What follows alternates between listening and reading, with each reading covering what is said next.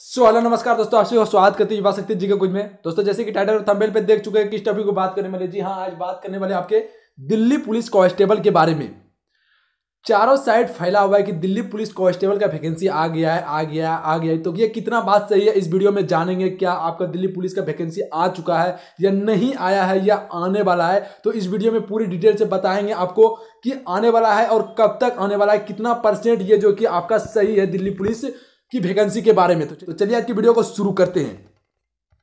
तो सबसे पहले आपको बताते कि ये जो कि बात आपका हंड्रेड परसेंट सही है। ये न्यूज़ जो है, ये न्यूज़ आपका हंड्रेड परसेंट सही न्यूज़ है, ठीक है? ये दिल्ली पुलिस का जो कि नोटिफिकेशन जारी हो चुका है और ये एसएससी के पास प्रस्ताव जा चुका है। इसका एग्ज़ाम एसएससी लेगा। सबसे पहले यहाँ आपको क्लियर कर देते हैं, इसका एग्ज़ाम कौन लेगा? एसएससी इसका एग्ज़ाम लेगा। दिल्ली पुलिस की तरफ़ से ये प्रस्ताव पारित कर दिया गया है और ये एसएससी के पास जा चुका है। बस वहाँ से आने भर देर है। ये जो है कि आपका छह से छः तारीख से लेके, ये मार्च चल रहा है, अप्रैल में छः तारीख से लेके ये स्टार्ट हो जाएगा आपका फॉर्म आवेदन होना। ये कंफर्म कर लीजिएगा छः तारीख से आपका स्टार्ट हो जाएगा फॉर्म आवेदन होने के लिए।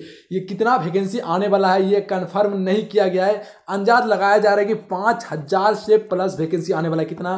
पाँच हज़ार से प्लस वैकेंसी आने वाला है। ये सभी स्टेट के लिए वैकेंसी है। सभी स्टेट वाला इसमें फॉर्म को आवेदन कर सकते हैं। यहाँ साफ़ साफ़ बताया गया है कि दिल्ली पुलिस में निकली कांस्टेबल के पद पर भर्ती। दिल्ली पुलिस में निकली कांस्टेबल के पद पर भर्ती। महिला और पुरुष दोनों अप्लाई करेंगे फॉर्म को। महिला और पुरुष दोनों अप्लाई करेंगे फॉर्म को। महिला के लिए भी यहाँ अच्छा मौका मिला है। तो यहाँ साफ़ बता रहा है कि दिल्ली पुलिस डीपी ने पुरुष महिला कांस्टेबल कार्यकारी रिक्त के लिए सूचना जारी की है। इच्छुक उम्मीदवार 24 चार 2020 से पहले आवेदन कर सकते कब? 24 चार 2020 से पहले आवेदन कर सकते हैं। इससे आपको क्या लगता है कि 6 चार 2020 से लेके 24 चार 2020 तक आपका फॉर्म आवेदन होगा? तो यहाँ आप कंफर्म कर लीजिएगा, छह तारीख समथिंग आपका वैकेंसी आने वाला है। ये आप कंफर्म कर लीजिए। इसका योग्यता क्या रहने वाला है? इसका जो कि एग्ज़ाम्स किस प्रकार होगा? एग्ज़ाम्स का पैटर्न क्या है और आपका एज लिमिट क्या है,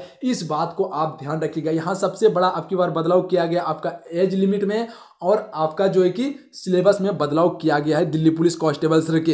पहले जो कि सिलेबस इसका जो है कि एक सौ नंबर का क्वेश्चन का होता था, वही एक सौ नंबर का क्वेश्चन है, जिसमें जनरल अवेयरनेस रहता था करेंट अफेयर रहता था, जनरल साइंस रहता था, जनरल नॉलेज रहता था। पचास क्वेश्चन यहाँ से पूछता था तो ये आपका पचास क्वेश्चन से पूछेगा। बदला क्या गया है? पहले पैंतीस क्वेश्चन रीजनिंग पूछा जाता था। क्या?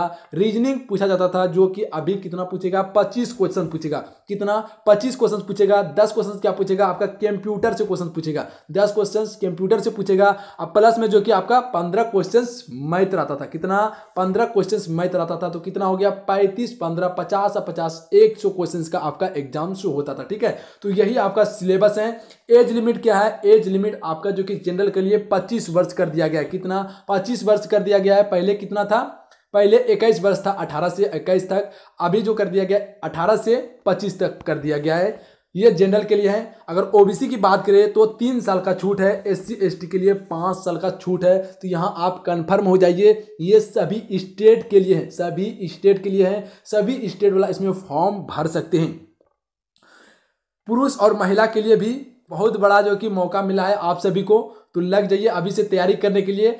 अगर इसकी शैक्षणिक योग्यता की बात करें, योग्यता की बात करें, योग्यता आपका क्या लिया जा रहा है तो आपको मैक्सिमम इंटर पास होना चाहिए। ट्वेल्थ पास होना चाहिए। कोई भी सब्जेक्ट से, कोई भी सब्जेक्ट से ट्वेल्थ पास होना चाहिए। आप फॉर्म को आवेदन कर सकते हैं। उम्र कितना?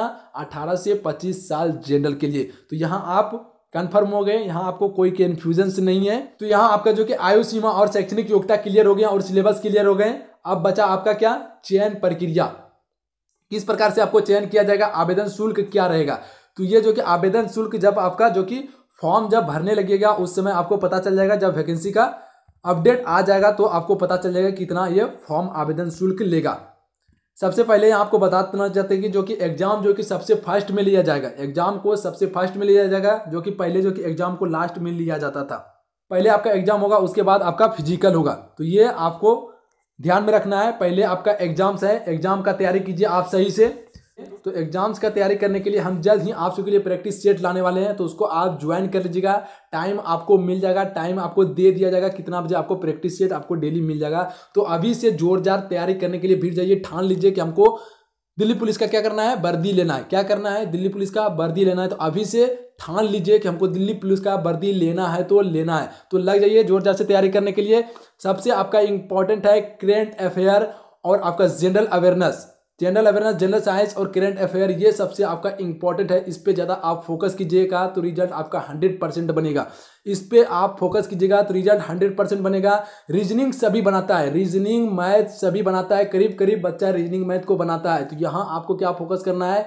जीके जीएस करंट अफेयर पर फोकस करना है। ये हम आपको कन्फर्म करते थे यही आपका रिज़ल्ट बनाएगा। यही आपका रिज़ल्ट को डुबाएगा। तो यहाँ आप कन्फर्म हो जाइए। जीके जीएस के लिए हम आपके लिए special practice set daily upload करेंगे। डेली आपको प्रोवाइड करेंगे। तो प्रैक्टिस सेट को आप डेली लगाइए और तो दिल्ली पुलिस का अच्छी से तैयारी कीजिए और अच्छे तरीके से एग्ज़ाम्स को क्लियर कीजिए पेपर को क्लियर कीजिए। तो यहाँ सभी बात आपको क्लियर कर दिए हैं। जल्द ही क्लास आने वाला आपका प्रैक्टिस सेट का। क्लास को ज्वाइन कर लीजिएगा। फॉर्म आने से पहले अगर आप तैयारी करना शुरू कर देते हैं तो आपका तैयारी अच्छा से जाएगा। मेरा बात को अगर ध्यान से आप सुन लीजिएगा तो रिज़ल्ट आपका हंड्रेड बनेगा। तो हम आप सभी को बताते हैं इसका जो है कि तो यहाँ आपको सब चीज़ क्लियर कर दिए हैं। आप इसका स्क्रीन शॉट लेना चाहते हैं तो लेके आप एक बार देख सकते हैं। ये सही न्यूज़ है। न्यूज़ फेक नहीं है। आपका जल्दी वैकेंसी आने वाला, पाँच हज़ार प्लस आपका वैकेंसी रहेगा। तो चलिए आज का वीडियो आपको कैसा लगा? प्लीज़ नीचे कमेंट बॉक्स में ज़रूर बताइएगा। अगर आज का वीडियो आपको अच्छा लगा हो न्यूज़ अच्छा लगा हो तो वीडियो को लाइक और शेयर ज़रूर कर दीजिएगा। स्टडी से रिलेटेड जो भी व्हाट्सअप फेसबुक ग्रुप हो, उनमें शेयर ज़रूर कर दीजिएगा। अपने दोस्तों में से शेयर करने के लिए नहीं भूलिएगा। और जाते जाते अभी तक वीडियो को लाइक नहीं किए थे, एक लाइक आप सब ज़रूर कर दीजिएगा। तो चलिए मिलते हैं तब तक के लिए। जय हिंद, जय भारत। इसके अलावा आप हमारे फेसबुक पेज को ज्वाइन कर सकते हैं, युवा शक्ति जी के क्विज के फेसबुक पेज को ज्वाइन कर सकते हैं। वहाँ भी काफ़ी इंपॉर्टेंट सब क्वेश्चंस को पोस्ट करते हैं प्लस में जो कि न्यू अपडेट आता है, कोई भी चीज़ का अपडेट आता है तो वहाँ भी पोस्ट करते हैं तो उसे ज़रूर ज्वाइन कर लीजिएगा तो चलिए मिलते हैं, तब के लिए जय हिंद, जय भारत।